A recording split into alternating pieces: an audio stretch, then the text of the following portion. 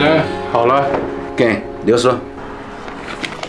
小陈，你给五十就行了。不行，就得一百。家里啥日子过的，你不知道啊？小陈，替我向你父亲问好哦。好嘞。爸，去扫扫院子去。扫什么扫？又看不见。哎，亮亮去。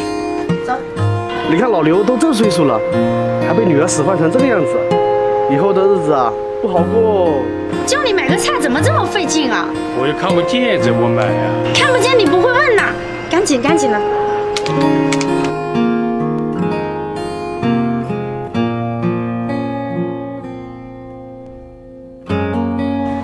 娃娃，明哥，你怎么来了？买菜你自己买就行了，你折腾刘叔干嘛？我身上长了个东西，大夫说不容乐观，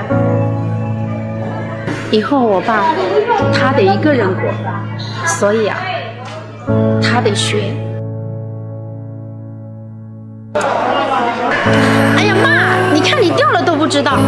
你咋来了？谁让你又买西红柿了？都跟你说了，这些容易坏，让你买土豆那些好放的。这些不都是你爱吃的吗？那些以后再买，日子还长着嘞。